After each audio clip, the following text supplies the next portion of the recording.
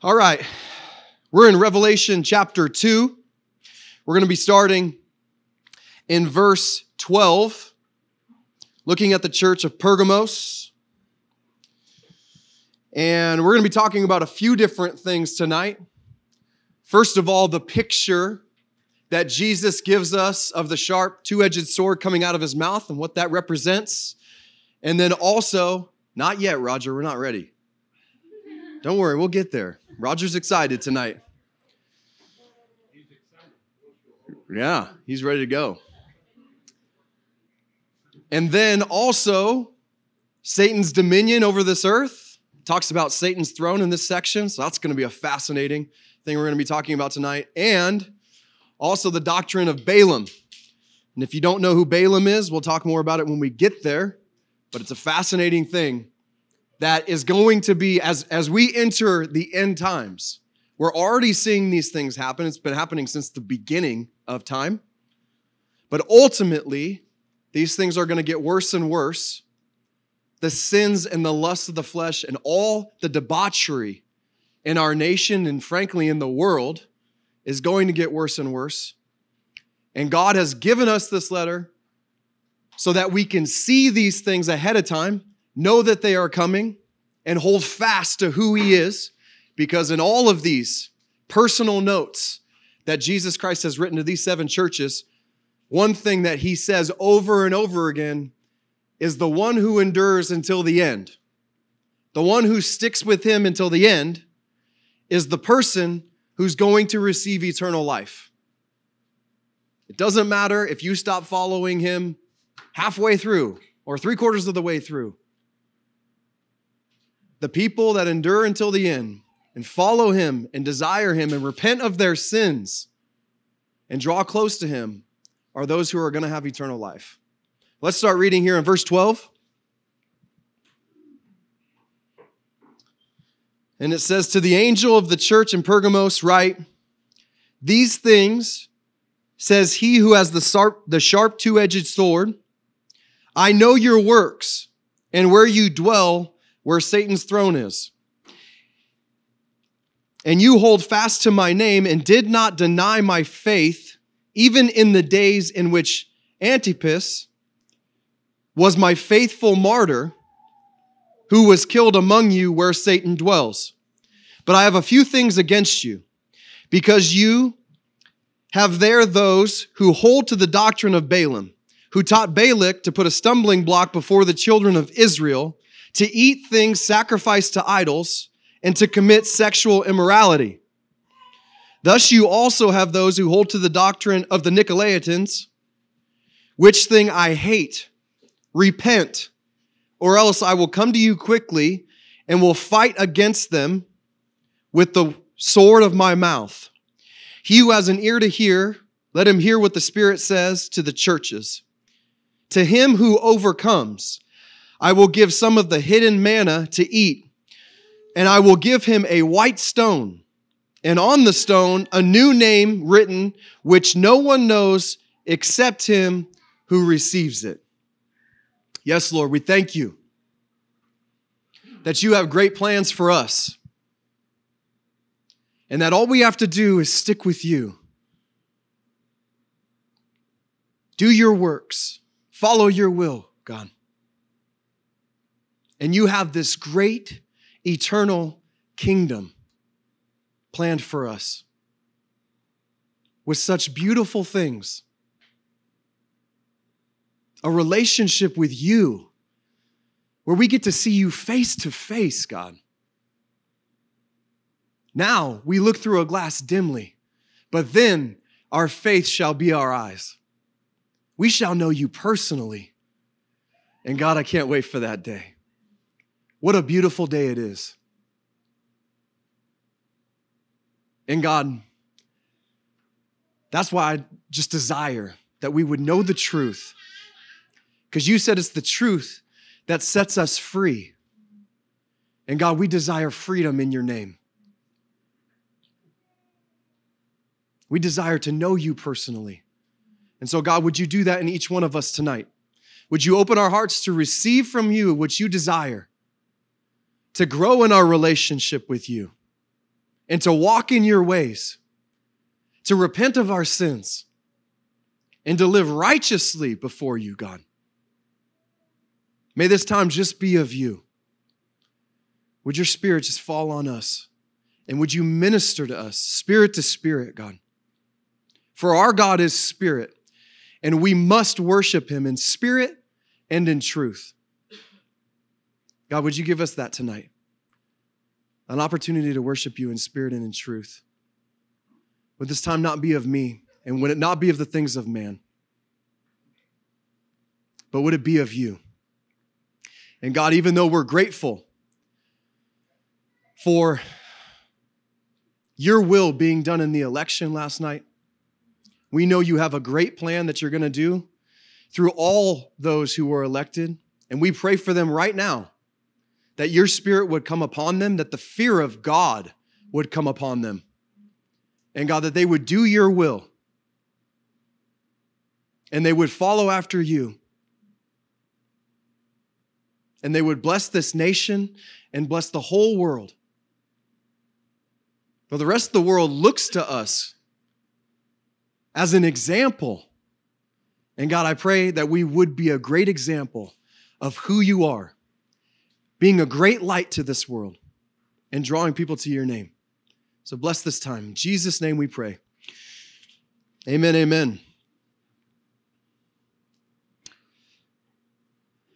Now, Jesus says to the church at Pergamos that he is the one with the sharp two edged sword that proceeds out of his mouth. Go ahead and put it up, Roger.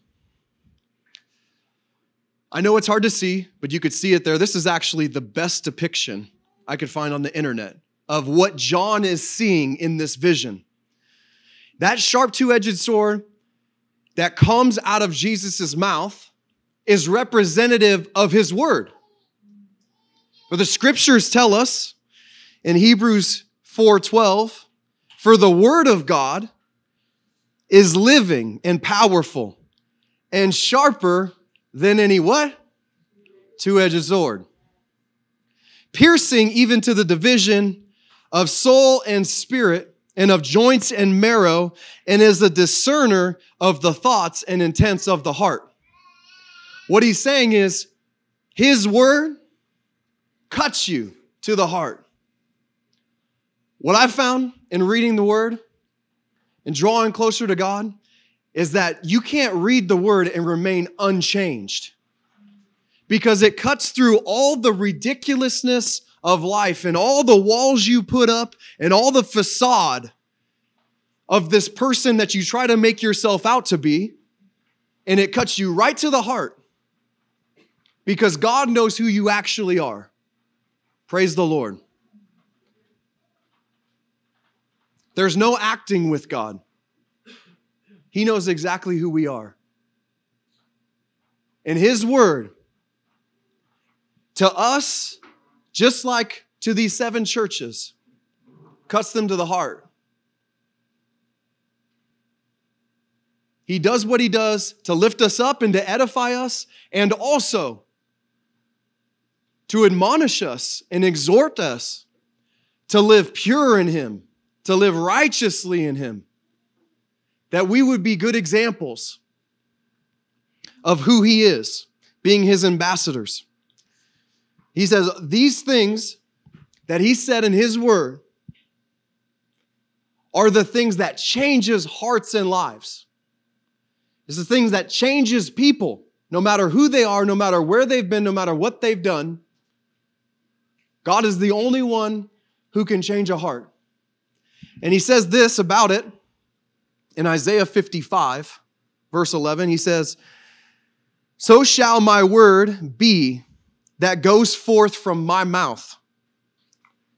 It shall not return to me void, but it shall accomplish what I please, and it shall prosper in the thing for which I sent it. God has sent his word to give truth to the nations, that those who love the truth would come out of the ways of the world. And they would walk in the ways of the Spirit, in the ways of God. And that this world wouldn't have a hold on them anymore, but instead, they would be living for the kingdom of God. He says, That's what I've sent it for, to accomplish what I please. And the scriptures tell us that it's this truth that God wants us to chase after. Because if you don't chase after it, and you chase after the lies of this world and the lusts of the flesh, he says you will be given over to the lies. You will be given over to the lusts of your flesh so that you can't even believe the truth anymore. But that instead you believe the lie and you are permanently separated from God. Understand that this is what is going to happen. We see all the crazy lies that there are out there in our world today, and that they're perpetuated in such a amazing way, actually. You know, they say that lies spread six times faster than truth does. Isn't that fascinating? Why? Because of Satan's spiritual power that he has over the lie. We've looked at lies in depth. You know, Satan is the father of lies. And so he is the one who's perpetuating these lies and making them spread throughout all the whole, the whole earth. And yet, it's Jesus' word that is truth, and that truth will set us free. Roger, if you'll go back to the picture for me. Now, it is that double edged sword there that Jesus will have coming out of his mouth when he comes back to fight the battle of Armageddon during his second coming. It says he's riding on a white horse, and that sharp two edged sword is coming out of his mouth with which he will strike down the nations. In the battle of Armageddon, all the nations are bringing their armies to the valley of Megiddo outside of Jerusalem. It's a huge, I wish I would have had a picture of this. It's a huge valley in Israel. And they're all bringing their armies there.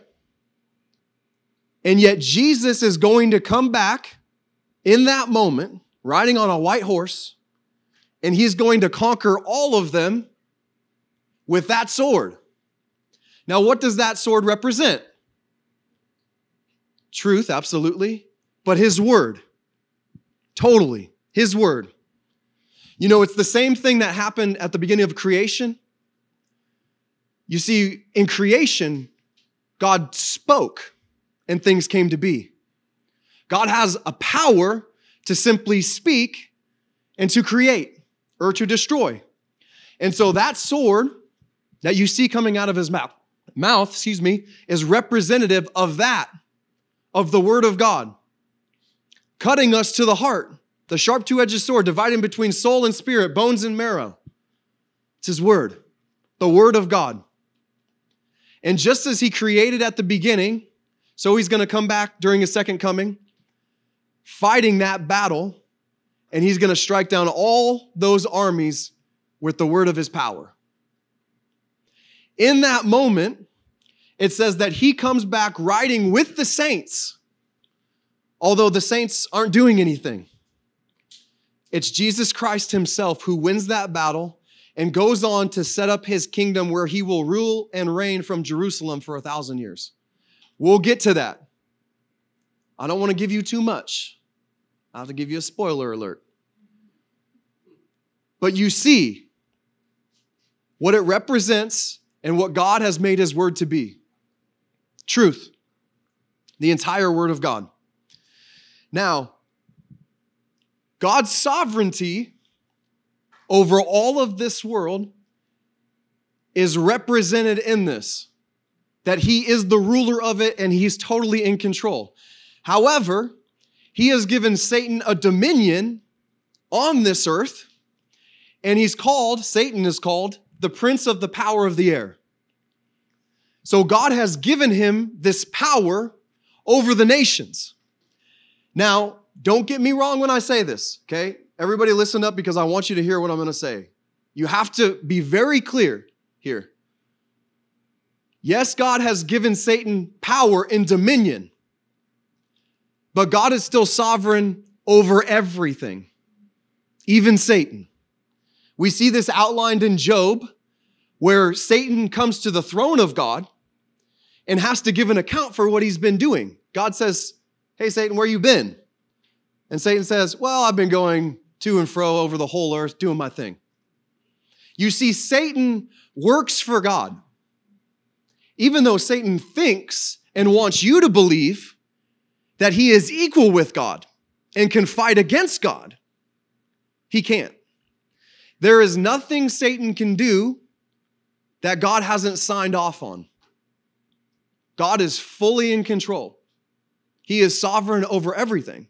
Now, some people don't like this because they see the devastating things that happen in our world and the bad things that happen in our world. And they say, How could a good God allow these bad things to happen?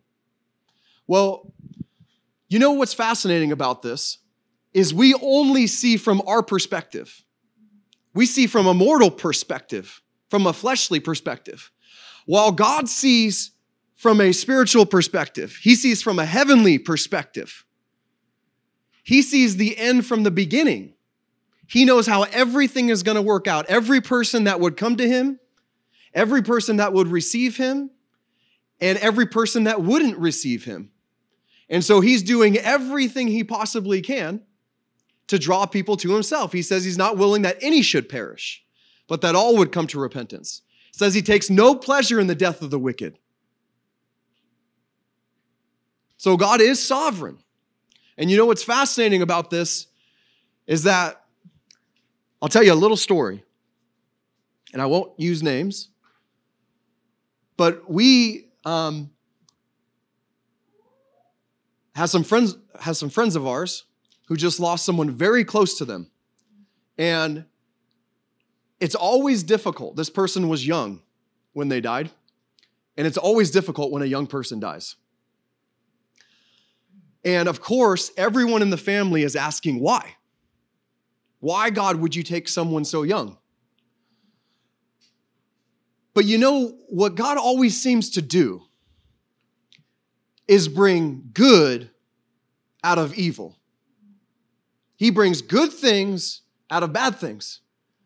And we were talking to a family member of the person who died, who we met not long ago, and really at that point did not have an interest in who God was.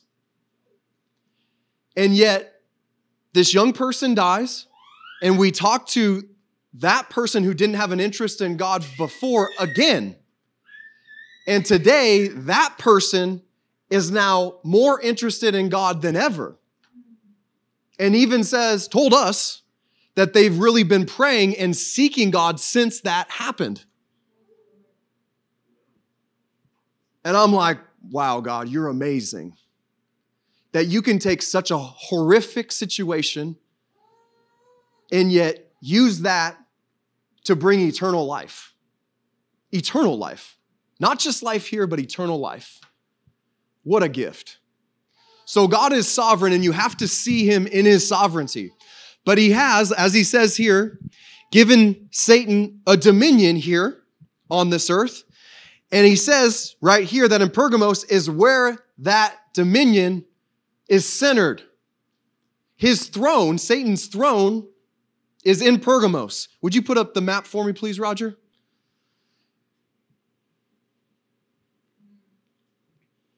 You see Pergamum right there at the top?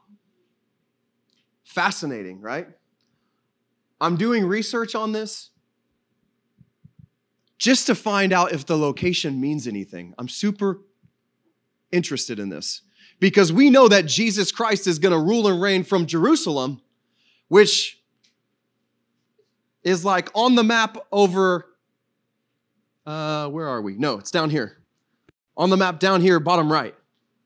And yet Satan's throne is right there, not far from where Jesus is going to be ruling and reigning. I don't know. I just find it fascinating and I want to know more about it. The fact that God even gave Satan a throne on the earth, I think is fascinating. But to give you a picture of what this dominion looks like, I want to take you into Matthew chapter 4 when Jesus is being tempted by Satan in the wilderness as he's fasting. So, Jesus, as he's stepping into his ministry, is baptized by John, and the Holy Spirit comes upon him and immediately leads him out into the wilderness to be tested. And he fasts 40 days and 40 nights. And at the end of that, well, towards the end of it, he's tested by Satan. And one of the three things that Satan does to him is take him to a very high mountain. In fact, that's where we'll pick this up. Says again, the devil took him up on an exceedingly high mountain and showed him all the kingdoms of the world and their glory. And he said to him, All these things I will give to you if you fall down and worship me. This gives you a direct picture of the power that God has given Satan. It says he's given Satan power over all the kingdoms of the world. Isn't that fascinating? All the kingdoms of the world, because if he didn't have dominion over them, he couldn't offer them to Jesus. So, over all the kingdoms of the world, he's given him dominion, so much so that he could offer them to Jesus. Thank God Jesus didn't take it, because here's the one thing that I'll tell you about Satan's dominion is there is an end date. It's not an eternal dominion. It's not an eternal kingdom, but it will end. And anyone who buys into Satan's kingdom to build it, which is building your own kingdom, essentially. If l- let me make this clear. If you're building anyone's kingdom but God's kingdom, you're building Satan's kingdom. I'll just make it very frank. Because here it says that he has dominion over all the kingdoms of the world. The only kingdom that he doesn't have dominion over is God's kingdom. So if you're building any other kingdom, whose kingdom are you building? It's very clear. There's only one kingdom of God, and that is the only kingdom that will remain forever. Every other kingdom will fall, including the devil's kingdom. Now, how all this works when it comes to God's sovereignty and yet the devil's dominion is very fascinating, and it's something that we probably will not know on this side of heaven. Yet, we know from the scriptures, like this, that God has given Satan a dominion over the earth, so much so that he could offer it to someone to give it to them just like he's going to give it to the Antichrist, who is going to be the leader of the one world government. It says he's empowered by Satan, the ancient serpent. We'll get there too. And yet, God, even though Satan has this dominion over the whole earth, is sovereign over all of that and is using Satan to get his work done. In fact, he's using all of the demonic spirits to get his work done because it says that when Satan fell, he took a third of the angels with him. A third of the angels said, I don't want to worship God anymore, and I don't want to follow him. I want to follow Satan. And they tried to exalt Satan as God. Can't be done, but that's what they wanted. Then it goes on to say in verse 14, he says, But I have a few things against you because you have there those who hold to the doctrine of Balaam, who taught Balak to put a stumbling block before the children of Israel. Now, let me tell you this story really quick. What happened here is the children of Israel, by the millions, were coming out of Egypt and they were headed to the promised land.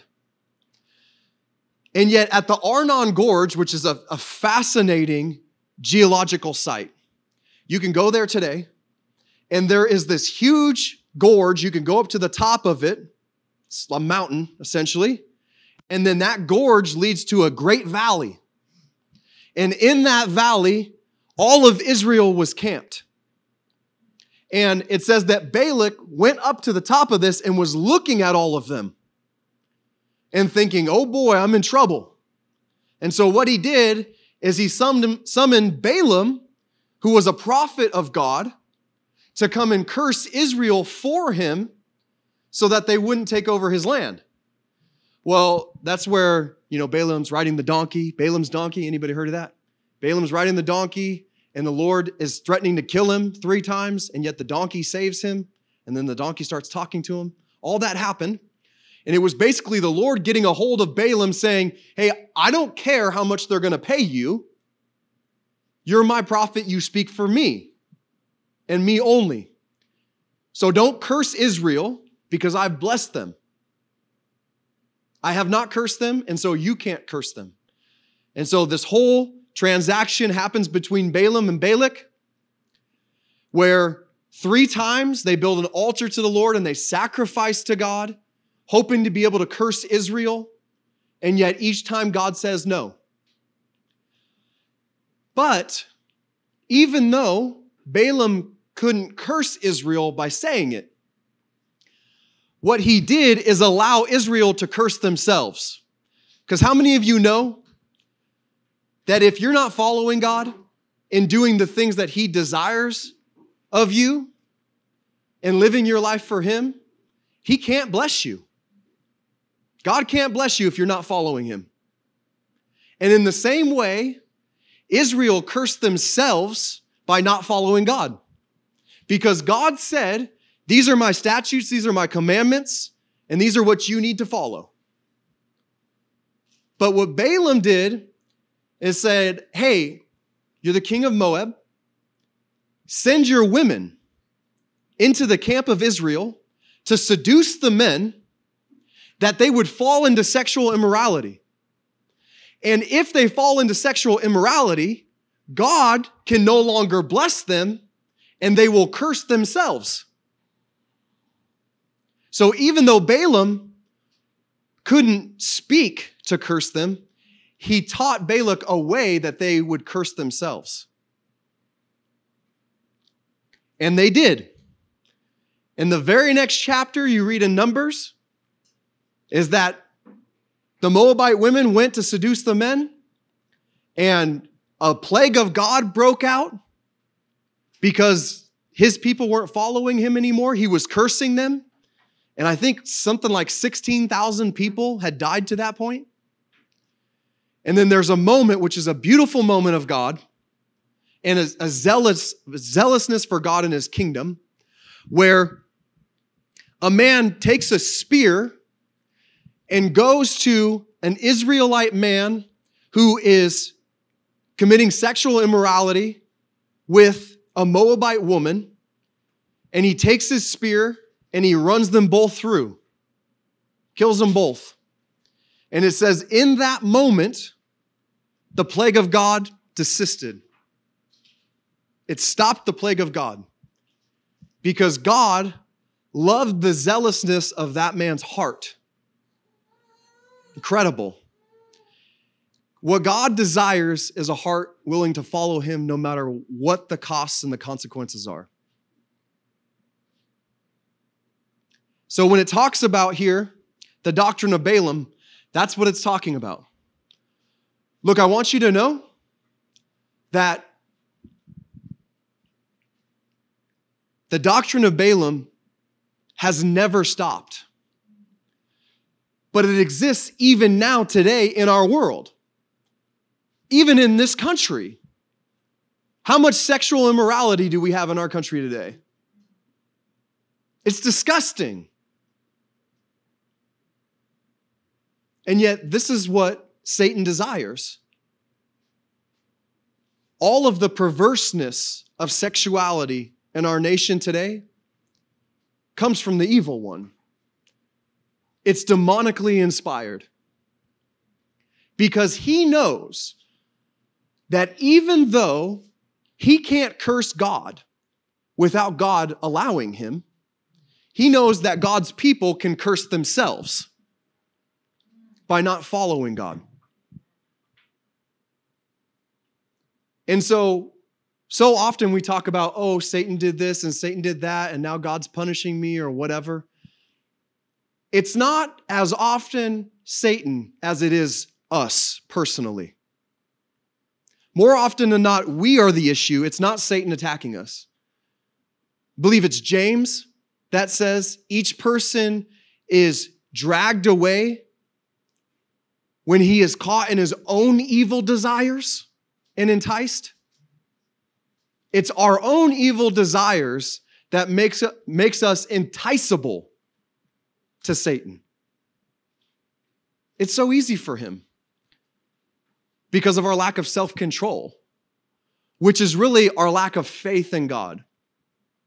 If you have faith in God and you trust Him and you trust in His Word, it makes all of the perverseness and the sexual immorality and all of the lusts of your flesh seem so small. They pale in comparison. Because your faith in God, your love for God, just overshadows the whole thing. If you have lust in any way in your heart that you're having a hard time getting rid of, look, it's, it's not about reaching in and pulling it out and throwing away. No, it's about replacing it with the love of God. Take lust out and replace it with love love for God and love for his people and his children. And I guarantee you, it will change your heart. In place of the bad thing, put something that's good. Live righteously before God. He goes on to say in verse 16, repent, or else I will come to you quickly and will fight against them with the sword of my mouth. He says, repent.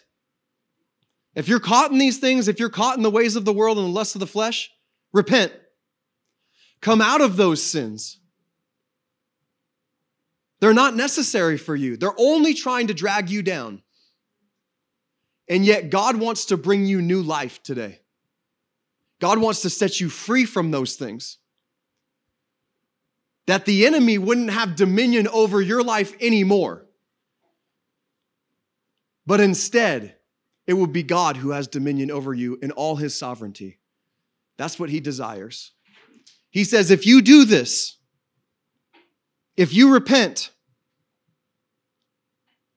in verse 17, he says, I will give them some of the hidden manna to eat, and I will give him a white stone, and on the stone a new name written which no one knows except him who receives it. Hidden manna, spiritual food. Manna is the spiritual food that God gave to them. What is our spiritual food? It's the Word of God. Man shall not live by bread alone, but by every word that proceeds from the mouth of God. So when I say read the Bible, I'm saying you need spiritual food.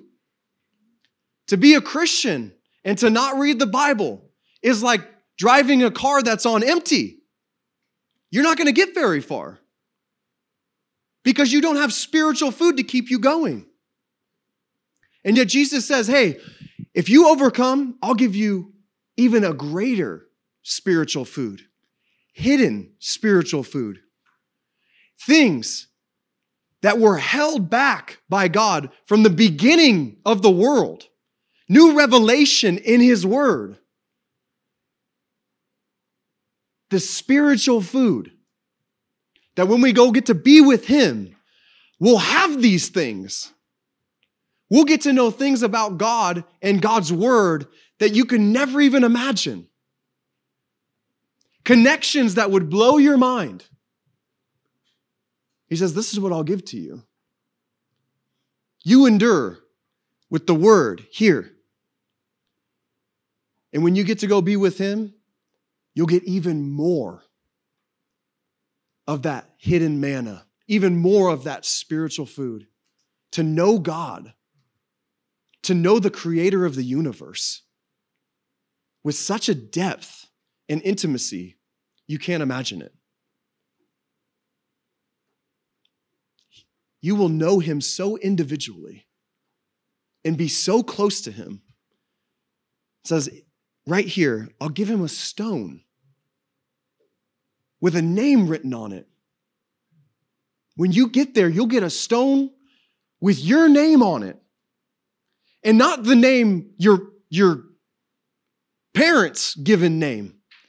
You will get your true God given name, a name that only you know, written on a stone, a little plaque for you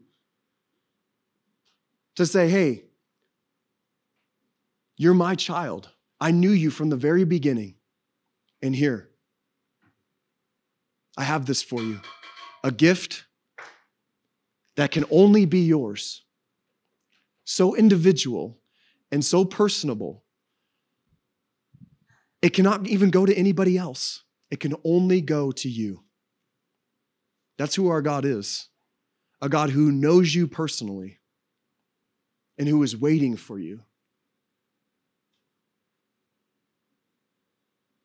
To him who endures till the end, to him who fights through all these things and yet holds fast to God and his word. Those are the ones who are going to receive the great reward of God that he has waiting for us. Such a gift. Thank you, Lord. Thank you, Lord, for the beautiful plans that you have for us. You say that you know the plans that you have for us plans for good and not for evil, plans to give us a future and a hope. God, you are the only one who can give us a future and a hope. In this world, in the kingdoms of this world, there is no future. There is no hope because we know that they are all going to be destroyed one day. And yet, in you, God, in you, we have future and we have hope because of what you've done for us. God, would you work in our hearts to stay close to you, to take your hand and walk close by your side and let you lead our lives every single moment of every day? That we would not wander even a little bit, God. But as the days get darker, you would shine brighter in us to be salt and light, to be truth in the midst of great lies. God, that we would know you in such a personal way. We love you, Lord, and thank you. In Jesus' name we pray. Amen, amen. Praise the Lord. God's good.